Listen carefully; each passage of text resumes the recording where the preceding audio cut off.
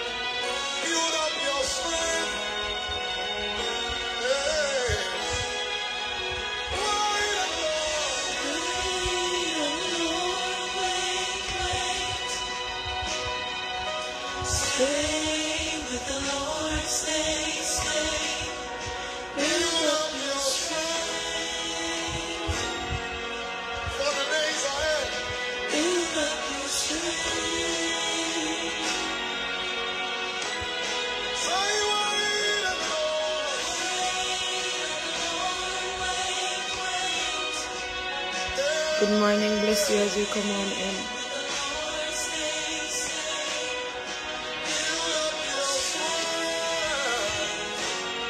Good morning. God bless you.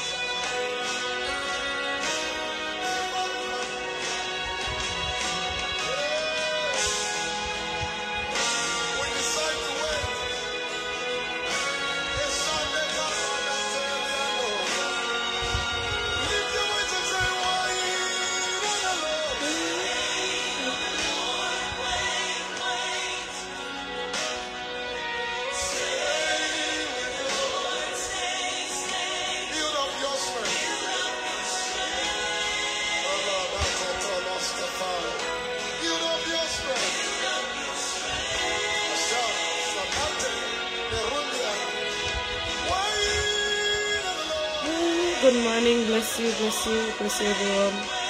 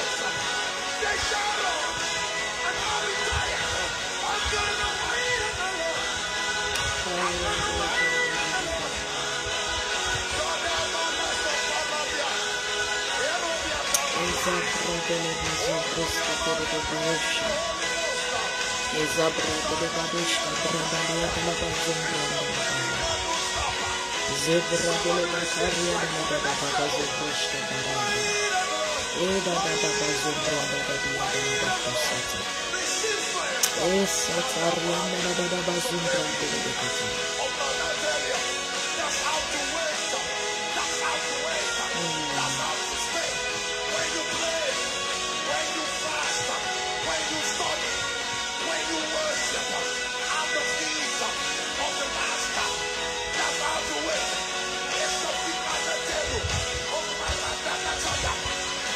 strength is small. You need more strength.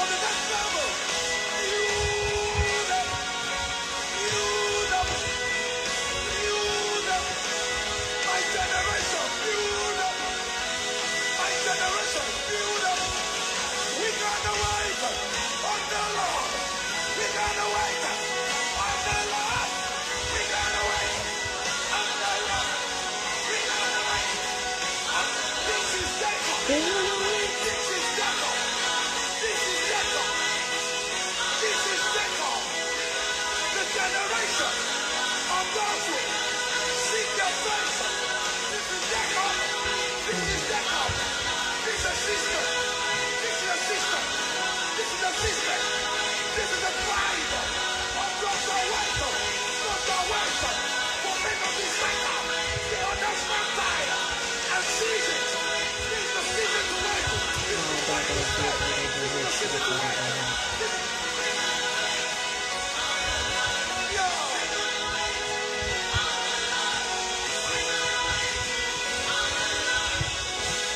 the Lord. On the Lord. Wait on the Lord.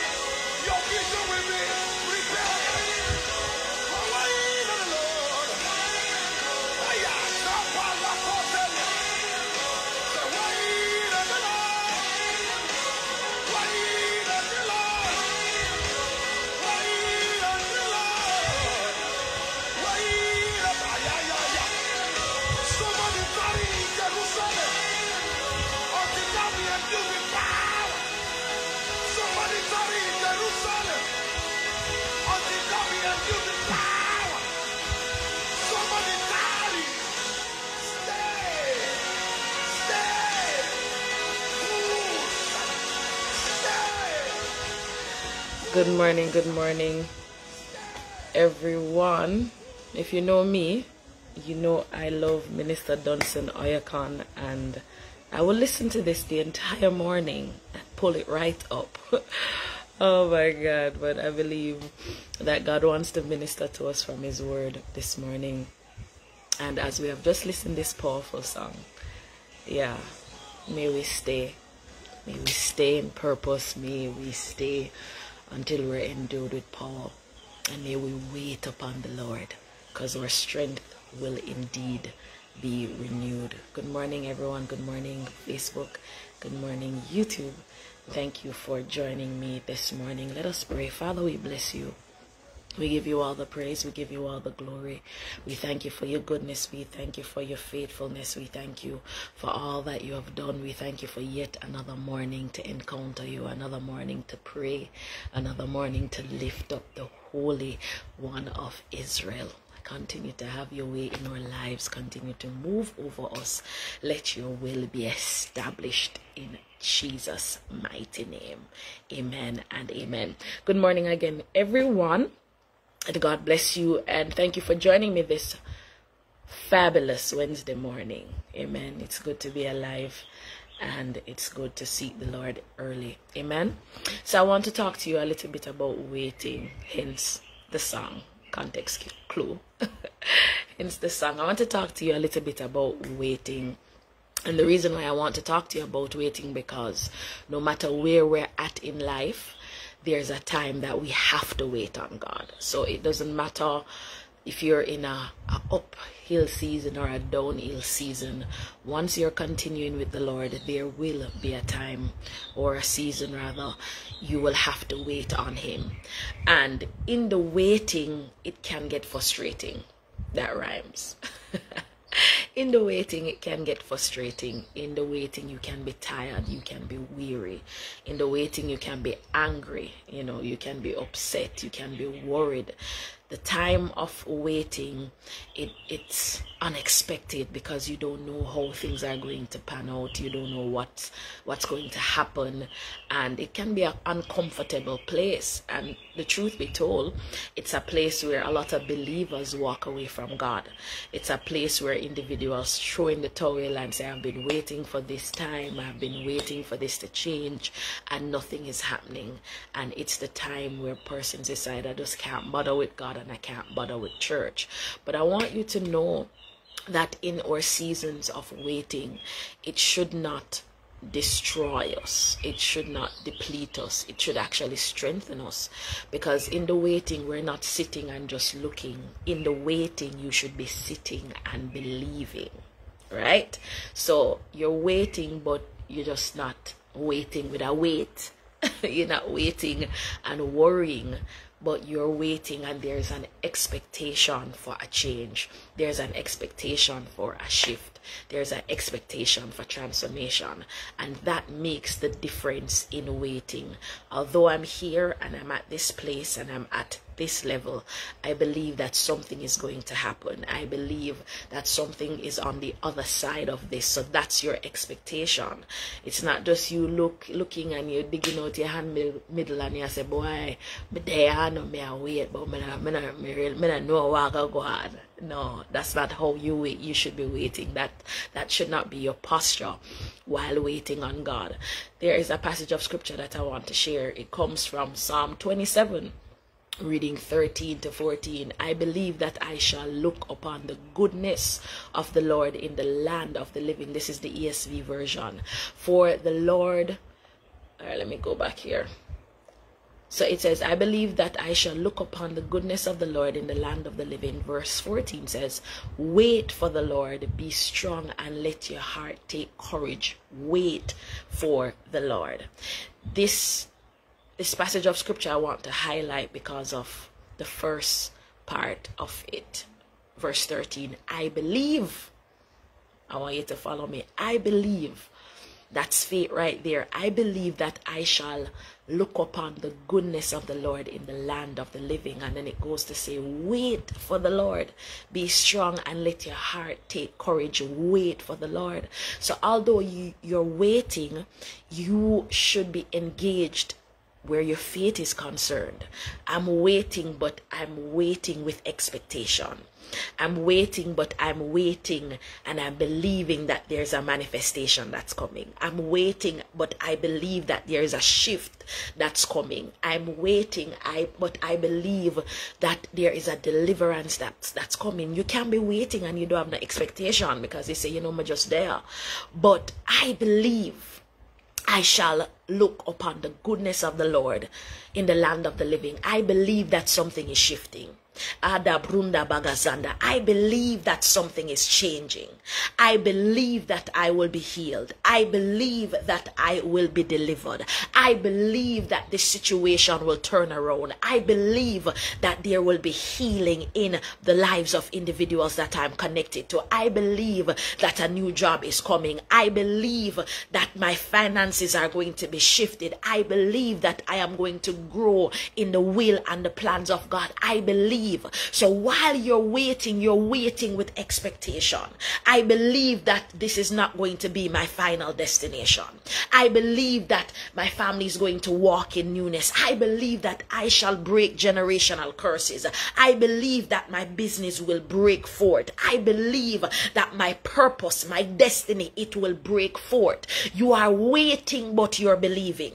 You're waiting, but there is an expectation that you have. You're waiting, but you know that something is going to shift and something is going to happen. And this is the importance of declaring the word of God because in seasons of waiting, there, there is doubt the enemy uses doubt to come and to bombard your mind and to tell you that it's not going to go this way, it's not going to happen this way. So while you're waiting, the word of God should be in your mouth. While you're waiting, you should be uttering scripture. This is what God has said. Irrespective of me being in this season, there is a change that's coming. Why? What I am experiencing now is not the picture that God gave me. Oh, da da da da. What I am experiencing now is not the prophecy that God gave me. What I am experiencing now is not the word. It is not the word of the Lord. So that means my where I'm at now it's not the complete picture of what God promised me. So there is more. There has to be more because he is not a man that he should lie. So you're waiting, but you're believing. And as I said earlier, this is the place many people tap out. I'm no longer here, I'm no longer present because I'm not seeing anything. But while you're waiting, faith has to be there. While you're waiting, faith has to be intact. Let me let me let me let me, let me not read that one. Let me go to James 1 verse 5. So in your periods of waiting, you have to have wisdom. Why do you have to have wisdom while waiting? I mean, we need wisdom all around, but in your periods of waiting, it's important for you to seek God concerning wisdom. And as I said, we are all waiting for something. No matter where you're at, you are waiting for something. And it's important to seek God for wisdom in these times. Why? The enemy comes when you're vulnerable. The enemy comes when you have a level of expectation and you're not seeing it. And you're seeing everything else but what God God promised. And doubt will begin to settle in. Fear will begin to settle in. And this is why we need wisdom. And you know we've heard it in terms of of you know seek wisdom. But what is really wisdom? Wisdom is truth applied to specific situation situations for a godly outcome, a godly end. It's a skill of seeing beyond the thin surface of how things appear. So you will be in a season where you're waiting on God and then the enemy comes and brings something in your life and you say, oh my God, oh my God, this is what I've been waiting for for so long, right? But it's not really God the Bible talks about him appearing as an angel of light. He comes in camouflage. He comes as if this is God when it's really not. So in your seasons of waiting, you have to have wisdom to know is this God or if is this the enemy? We see wisdom being applied when Solomon was king. The the ladies with the baby one took away the lady baby saying it's her baby. And solomon was like all right let's kill the baby. And the one that it was truly her child she said no it's okay. Let her have the baby. And solomon said it's your baby. It's your baby because once it's your child you wouldn't want that child to die and no one gets the child. You want that child to live. So there was a level of wisdom and the other lady was like okay yeah let's kill the baby and and split the baby and Solomon was like, This is not your child. If this is this was your child, you would not want this child to die. That is wisdom. That is wisdom. Wisdom causes you to see beyond the surface. Wisdom causes you to see beyond what is natural. And sadly, some people are waiting, and because of the absence of wisdom, they end up picking the wrong thing and doing the wrong thing, although they were waiting so long. Although they were waiting for that extensive time, they ended up doing the wrong thing, connecting to the wrong people, making the wrong decisions because of, of, of, of, of, of because of the absence of wisdom. And they were waiting so long. Listen to me, we need wisdom. We need wisdom because your wait can be in vain if you don't have wisdom. Someone comes and it looks like it as if it's God. An opportunity comes and it looks as if it is God. We need wisdom. James 1 5 says, If any of you lack, lacks wisdom, let him ask of God, who gives generously to all who to all without repro- reproach, and it will be given him. So God wants to give you wisdom. God wants to release wisdom upon you because you need wisdom for decision making. The Bible talks about the sons of Issachar, they were able to discern the times and the seasons. That, that was wisdom, knowing when is the time for what.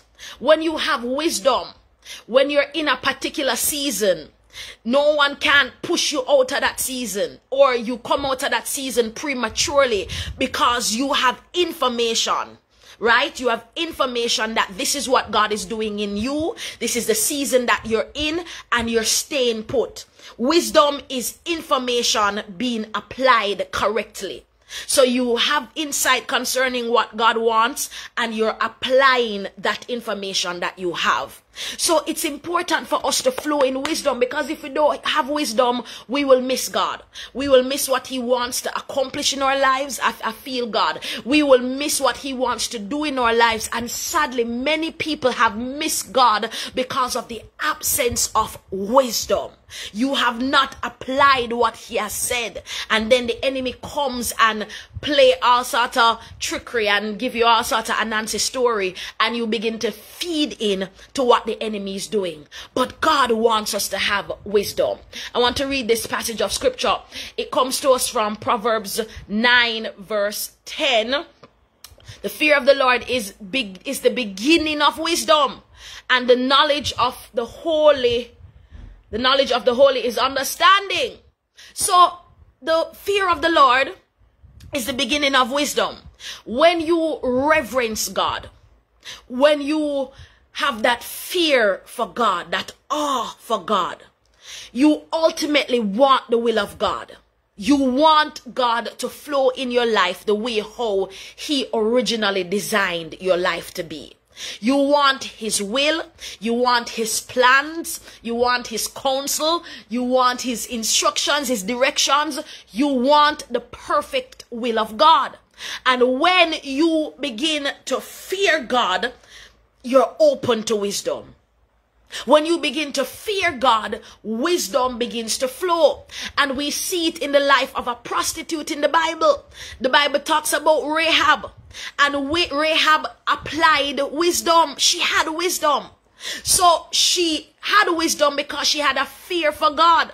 And when the spies came in the land, she hid the spies right? She hid the spies irrespective of what could have happened to her because she could have gotten in some serious trouble herself and her family. But because she feared God, she flowed in wisdom and she flowed in wisdom and saved herself and save her family because she knew that God was going to give the children of Israel the land. She heard about their God and she took the opportunity to cover them and give them information that was necessary concerning Jericho. I want you to know when there is a fear and reverence for God, God will begin to minister to you on a greater dimension, in a great on a greater dimension. God will begin to speak to your speak to your heart. He begins to lead you into truth. But a lot of times individuals it's it's not it's not a fear of the Lord. They are there, I'm waiting, you know. And if this thing don't happen, I'm just gonna move away. If this thing don't happen, I'm just gonna run. If this thing don't happen, I'm just gonna backslide. If God don't work this out, this is the end of it. No, you have to have a fear for the Lord. So although I'm waiting and waiting can seem frustrating, I have a fear for God. Where am I going to go? Where can I run from his presence? Where can I run from purpose? Where can I run from that which He has called me? He's the creator of the universe, emperor of the universe. Where am I running to? Where, where can I run and hide from God? When I can hide from man and I can change state and I can change country and I can change location, where can I run and God doesn't find me? Nowhere. So when there is a fear for God, Although the weight is a weight, you begin to say, I am not moving. Where am I going? Where am I running to? What's going to happen to me when I run? So that, that all of, all, of, all of those things begin to play in your mind because there is a fear for God. Listen to me, enough time I run. enough time I want to run. But where am I going? Girl, where are you going? Are you going to be like Jonah? Are you going to be like Jonah? Think you can run from God? Think you can run from God? God will trouble the very thing that you're, you're doing. He ran, went in a boat. All of a sudden, a storm. Jonah knew that I am the one that is causing this. Where am I going? Where, how, how can I run from the king of the universe? How can I run from the one that laid the foundation of the earth? I might as well stay. And, and while I'm waiting, I ask for grace. While I'm waiting, I ask for discernment. While I'm waiting, I ask for wisdom. While I'm waiting, I allow him to endure me with power from on high. There's a song by Pastor Travis Greene. It's while I'm waiting, I'm getting stronger. My faith is rising and I will run. Oh, while I'm waiting, I'm lifting, I'm lifting up as wings as eagles. I will wait, I will not be moved. Oh. So you're waiting and you're getting stronger. Those that wait upon the Lord shall renew their strength. In the waiting, there is revelation. In the waiting, you're receiving information. In the waiting, you are getting stronger. In order in the waiting, you are building muscles.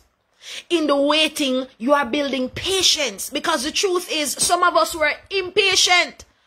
We've been like that from we were in the world and we come into God and God is trying to kill that. God is trying to kill how impatient you are because some of us we are not accustomed to waiting on anybody. If we ask people to get it done and they don't get it done, we go get it done ourselves. We go figure it out ourselves. We do what we have to do to survive. But when it comes on to walking on this kingdom road, you have to be patient because God's timing is not your timing. God, God's timing is not your timing. So God will cause you to take a bench, have a seat. And while you're waiting, He's changing some things in you. While you're waiting, He's shifting your mindset. While you're waiting, He's pulling some, some things off of you that will hinder purpose and hinder destiny. Because truth be told, if we get everything that we want in the moments that we want, it will be disastrous. I always look at my relationship with God from a parental relationship, right? With a, a father and a daughter. I'm a parent. And when I think about withholding some things from my children, I'll withhold it because it's not time for it. I'll withhold it because they are not at the place to handle it. So my my my my daughter will ask, "Mommy, can I get a phone?" No, you're not ready for a phone. What do you mean? You know, all my friends have phone and they carry phone to school. No, you're not ready for a phone. I remember when I had a phone as a child and I had it too early. I got it too early and I was exposed to things that I should not be exposed to. So wisdom will say, no, you're not getting that phone. When you are at a different age, I will give you that phone right? But she's looking at the situation that everybody else has a phone, and why can't I have a phone? And I'm I'm I'm the villain. I'm Grinch. I'm Grinch because the Grinch that stole, stole Christmas. I'm the Grinch because I don't want to give her the phone. And sometimes we look at God like that. God, oh, you stay so. Why you treating me like that? Everybody else have a car. Everybody else has a house. And I'm here and this is not happening for me. Why, why, why, why, why, why? And we're looking at everybody else and we're saying, so God, what happened to me? But I want you to know that God knows exactly what he's doing with you. He knows exactly why he has you in a waiting period. And we have to look at it from that parental relationship. We have to look at it from that aspect because some of the things that we want, we shouldn't be getting it right now. And, and to be totally honest, I'm, I thank God for some things that I asked for that He did not give me when I asked for it. It would have destroyed me. I thank God He did not give me the freedom to do some of the things that I wanted to do because it would have destroyed me. So as I come out of that period, that, that waiting phase and see God do some things in my life, I'm like, okay, this is why you had me waiting. This is what you were changing and this is what you were preparing me for. This is what you were blessing me for. All right, let me let me let me say this. Everyone wants financial stab- stability. Everyone wants financial freedom. But truth be told, the million dollar that you want by later or this morning, where you're at financially, and when I say financially, the way how you handle money, you will lose that million dollar by next week. Yeah, you will lose. How do you lose a million dollar? You give it to someone that does not have any financial restraint. That's how you lose a million dollar by next week. You give it to someone that does not have any financial discipline. You give it to someone that wants to splurge and wants house, car, land. That can buy a land still. House, can't buy a house neither. Um yeah jamaican million dollar. But you give it to someone and they go splurge and they buy all the latest appliance. And guess what? After they buy all of that and the house is full of all these new things guess what? They broke. Because you didn't flip any of the money. Right? You didn't flip any of the money. You didn't invest any of the money. So all you had was that. And when you spent it there is nothing more sweetie. So God has to restrain us financially as well. He has to teach us financially as well. And one of the ways he teach he, he teach us he teaches us concerning our finances and being better stewards of our finance, fi- finances is through giving. Is through tithing. When you hold on to the principle of tithing and you learn to honor God with a percentage of what He gives you, it's easy to put away a percentage for saving because you've been doing it with God.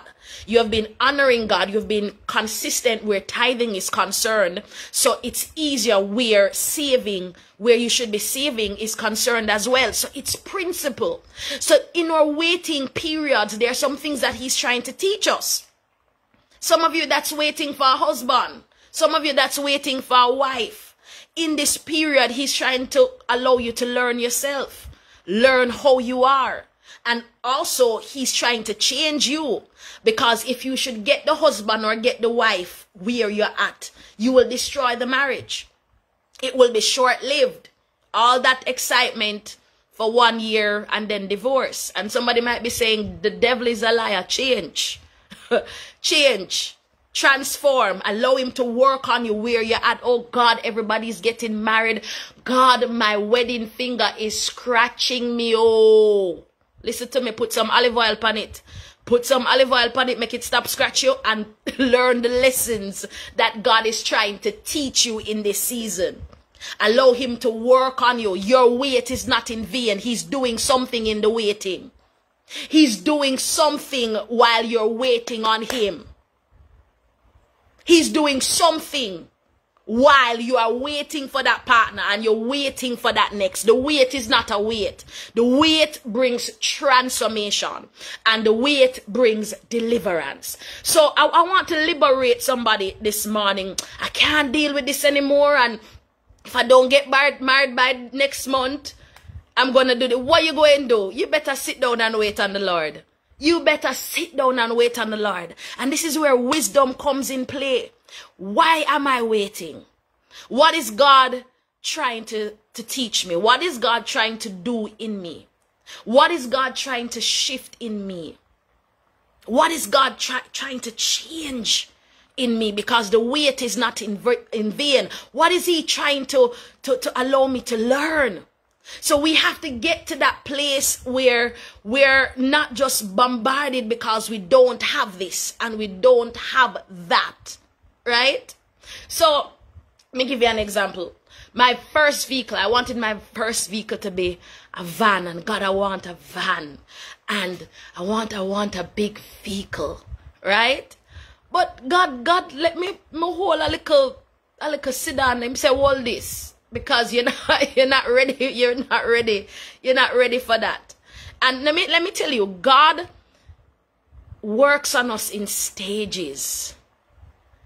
He, God works on us in stages. He there's a scripture that talks about ruler over little, and then you become master over many, ruler over many. He starts in stages, and he allows us to manage the little, and that reflects how we will manage the plenty, the mega. Sometimes you want to skip the little, skip the little, and just give me the plenty. But truth in fact, you don't know how to manage the little. Where you're at now, you're not a good steward over where you're at. You're not a good steward over your time. You're not a good steward over over um your finances. You're not a good steward over your your profession. You, you're not you're not diligent and we're asking for this big opportunity let me give you an example some persons are asking for promotion you're asking for, for promotion but where you're at they have a your boss have a problem with you. You're always late. You want promotion, you're always late, and you're not managing the workload, you're not managing your time effectively, but you want a higher position. Sometimes we don't want to talk about these things as believers. Sometimes we don't want to, to address these things. But these things are, are some of the very reason why we don't step in another dimension. So where you're at, you you're not managing well, right? You're not you're not up to up to par with the task task for the day. You're not up to par with everything that is required of you. But I need a promotion. I need a next level, and you have not even mastered where you're at.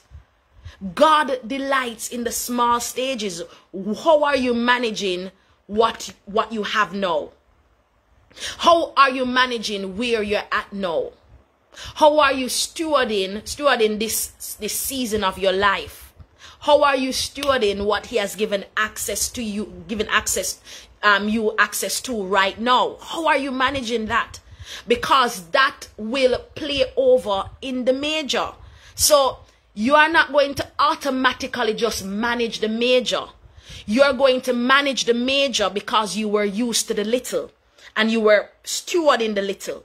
So when the major comes, it doesn't get to your head and you start splurge and you start do what you're not supposed to do. But because you were very diligent with the little, you are correctly managing the mega right? It's a principle. So i want i want i want to say this because i feel it. Individuals god what happened to me? What should i be learning in this season what should I be learning in this, this season? What should I be invested in in this season? What should I be connected to in this season? Who should I be connected to in this season? What should I be doing in this season with my task? What should I be mastering in this season? Because whatever you don't master will master you. Whatever you don't master will master you. When you think about women, sometimes we're a little bit lippy in marriage, right? And we come into marriage, come into marriage, and we're still lippy because when we were single, we didn't master that. And your mouth get you in a whole lot of marital problems. Your mouth get you in a whole lot of marital issues. And you know, we be like, oh, did we get here? You got here because when you were single, that didn't change about you. So what happened is it, it's amplified in marriage. It's mega in man in, in marriage because it wasn't handled, dealt with. You didn't change that from when you were single. So anything that we don't deal with will master us. You might not see it now, but in the future, you will see it in your relationships. You will see it in, in your, your new jobs. You realize that this was a problem that was prolonged. This is not new. This has been something that I've been struggling with for quite some time, but it ended up mastering me because I didn't grab a hold of it. So I want you guys to know, listen to me, that there are things that the Lord is trying to teach you while you're waiting. There's, there's things that He's trying to change about you while you're waiting. So ask Him, what should I be doing now? What should I be changing now? A lot of times, singles, I don't know why I'm talking about singles this morning, you know, but hey, I hear you, God. A lot of times, singles are just focused on marriage and I just want to be engaged and I just want boo or boo boo to come. You know, I just, I just need to be married. But what should you be learning in this phase? What should you be doing in this phase? You shouldn't just be sitting and waiting for that person to come. No, you should be occupied. You should be working on yourself. You should be making more financial, better financial decisions. You should be working on your relationship with God, right? You should be invested in your relationship with God. You should be growing. You should be occupying. You should be doing purpose. So when that husband or that wife finds you, they find they find you in God they don't find you outside of God. They find you in God. They find you working in the vineyard. How did Boaz find Ruth? Ruth was in the vineyard. She was in the field. Yeah, that's a whole nother sermon. She was in the field. He saw her in the field. So that's that's something to pull from. That is something to pull from. We should be occupied. We should be working right? We should be invested. We should be invested. And it's not you just sitting and looking for the next person to come. No. Allow God to work on you where you're at and what He's doing in you. And may you receive wisdom. Wisdom concerning decision making. I feel someone you are about to make a decision that will cost you purpose. You're about. You are about to make a decision that will cost you destiny. I pray that the Lord ministers to you. I pray that you receive wisdom. I pray that the Lord will overshadow you with his truth and you will not make decisions that are outside of God. You will not make decisions based on what you are experiencing currently or what you see. But may you be aligned with what God wants for your life and everything that he wants to accomplish accomplish through you in the name of Jesus. Yeah, that da da da bazabadaha. Lebras katarabaha. Zibranda. He's gonna minister to you. He's going to minister to you. Let me say this. You need wisdom even concerning where you should live. Some persons get up and they run go overseas and I mean I understand the challenges that we're having in Jamaica, but as believers we have to know what God is saying. I I shared this testimony that after after college I was able to stay in America. And the Lord said to me, Come home. And people said, That's not wise. Why are you coming home to Jamaica? Nothing is in Jamaica. But that was God's wisdom. God wanted me to come home. So we'll make decisions that, that look good and it feels right, but it's actually not God. And this is why we need wisdom. I was I was called to Jamaica. I was sent to Jamaica because there was purpose. I mean, I wouldn't be doing ministry. I wouldn't have met my husband. You know, maybe I would have backslide because at the time I, I was regressing. And me coming to Jamaica saved me spiritually. So wisdom is pushing to hear what God is saying. Not my opinion, not man's opinion, but what God wants to accomplish through me, the direction that He wants for, for my life. So you have to hear God. What is it He's saying concerning a relationship? Is this your husband? Is this your wife? The truth is sometimes, and it, it happens a lot, people run and they get married. Christians, they run and they get married, and when it get tough, guess what them say? Boy, me, me never really did hear God, you know. me, me, me, me marriage now work out and you know say me never really did get no confirmation. You know, me just say he that find it a wife, find it a good thing and we just we just married. we you have to hear God. You have to hear God concerning marriage. Listen, decisions that will alter your life. I beg you, believers, hear what the Lord is saying decisions that will alter your life where you go to school who you marry the church you go where you live your your profession all these things are all these these these different things they are they are decisions that will alter the course of your life so you have to hear god you have to hear what god is saying think about esther esther got counsel from mordecai that she should not reveal her nationality, where she came from. And she listened. She listened to him and didn't say, say anything. So, the person that was instrumental in saving the Jews was in the palace. And the people didn't know.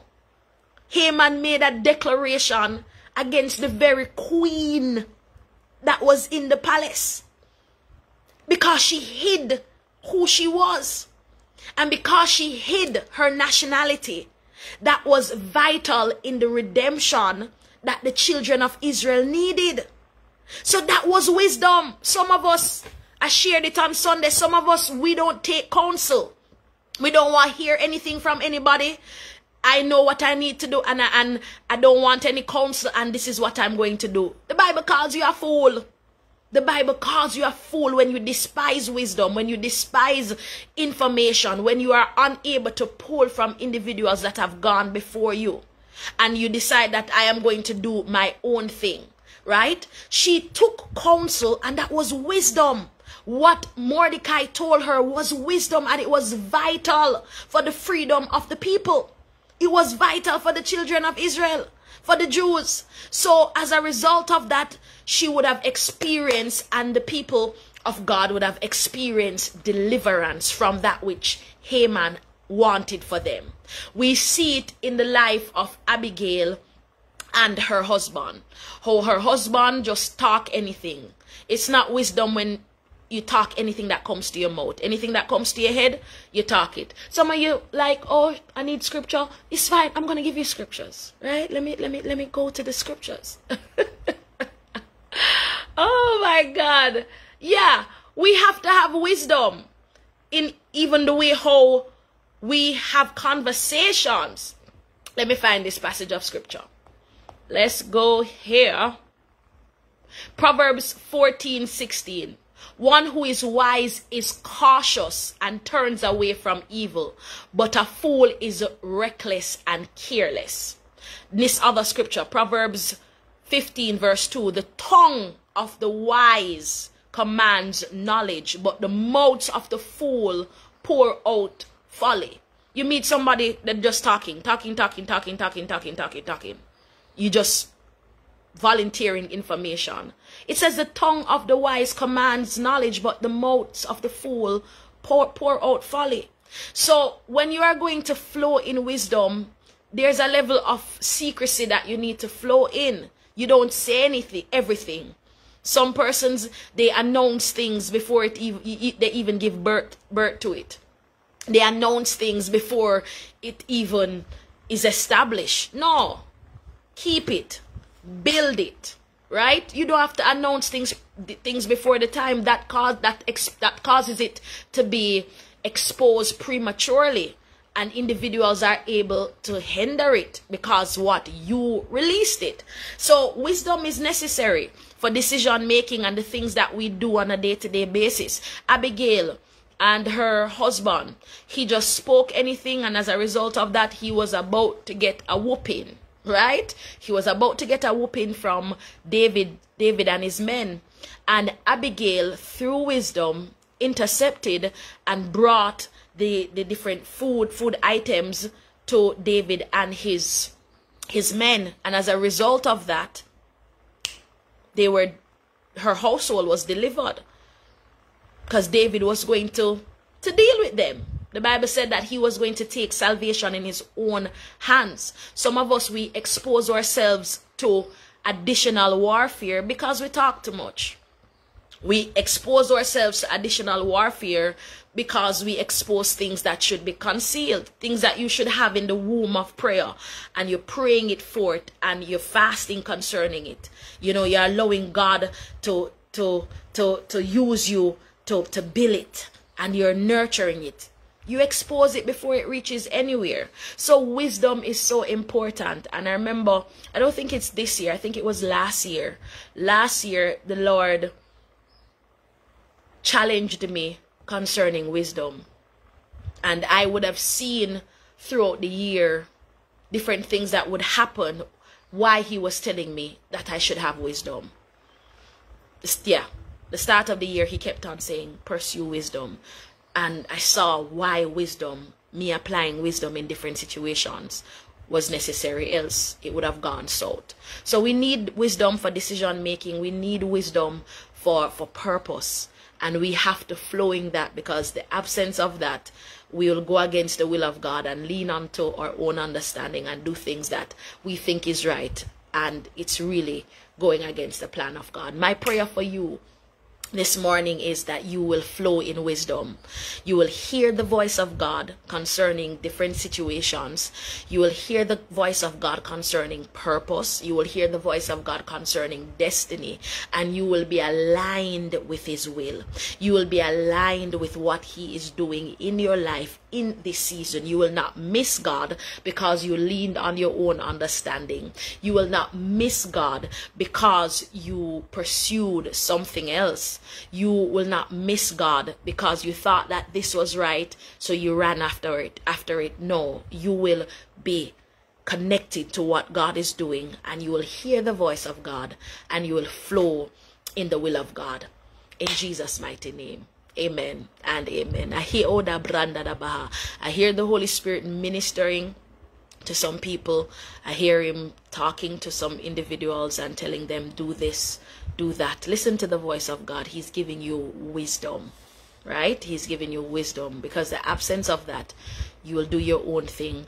The Bible said there's a way that seems right to a man, but at the end of it, there is destruction. So lean into what he's saying, lean into what he's doing, and allow the Holy Spirit to lead you in Jesus' name. All right, ladies and gentlemen, this is where we're going to end today. Listen, I want you guys to jump on next week, Wednesday. Next week, Wednesday morning, we're praying for families. So I want you guys to share the link with your family, wake up your family. We're going to declare the word of the Lord over families, and I'm going to be praying, prophesying and just allowing God to do what He needs to do. The Lord spoke to us regarding this year that it's a year for families. It's a year where He wants families to be saved.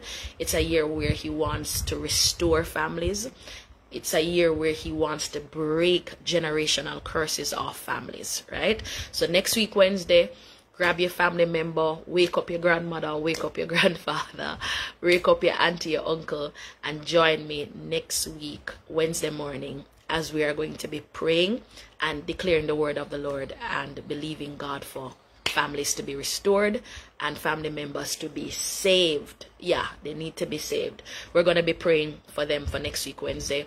So make a note of that, believers. Also, Woman Stay Loose Conference is coming up. it's coming up. The information is on my Facebook page and it is www.spiropen.com slash WSL 24 to register. We are going to be in Florida the 13th of July and we are going to be in Jamaica the 4th to the 6th of July. So you can register. We have day passes for those that can't make the entire conference. You can purchase your access pass for one day. That is online or in person and we have the access pass for three days where it's discounted. So if you're going to pay daily you're going to pay more money. That's for jamaica.